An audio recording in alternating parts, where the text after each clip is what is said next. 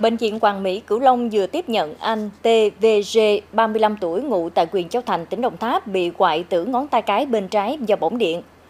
Tại Bệnh viện Hoàng Mỹ Cửu Long, người bệnh đã được thăm khám và điều trị tích cực. Qua thăm khám và thực hiện cận lâm sàng, kết quả cho thấy người bệnh đã bắt đầu hoại tử da ngón tay trái, ngón tay đã không còn máu nuôi.